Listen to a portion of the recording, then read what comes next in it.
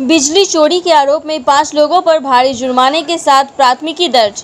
मोकामा के हाथीदा विद्युत उपकेंद्र के द्वारा बिजली चोरी के आरोप में पाँच लोगों पर हाथीदा थाना में नामजद प्राथमिकी दर्ज कराई गई है। इसके साथ ही सभी पर भारी जुर्माना लगाया गया है। सहायक विद्युत अभियंता प्रमेश चंद्र ने बताया कि इन लोगों का बिल बकाया रहने के कारण बिजली काट दी गई थी और बिल यथाशीघ्र जमा करने को कहा गया था। ताकि इन्हें सुचारू रूप से बिजली मिलती रहे, लेकिन निरीक्षण के क्रम में बिना बिल जमा किए ये सभी बिजली का उपभोग करते पाए गए। सभी पर प्राथमिकी दर्ज करते हुए बकाया बिल समेत जुर्माने की राशि जमा करने को कहा गया है, जिसकी कुल राशि लगभग तीन लाख सैंतीस हज़ार रुपये है। हाथीदा थाना अध्यक्ष सोएब अख्तर ने मामले की पुष्टि करते हुए कहा कि प्राथमिकी दर्ज कर आगे की कार्रवाई की जा रही है।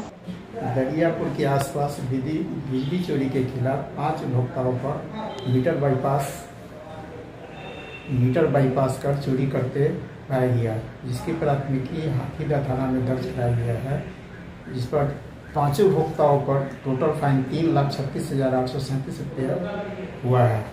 ये कार्रवाई के आगे भी जारी रहेगी? हाँ ये ये प्रक्रिया प्रतिदिन चलता रहेगा।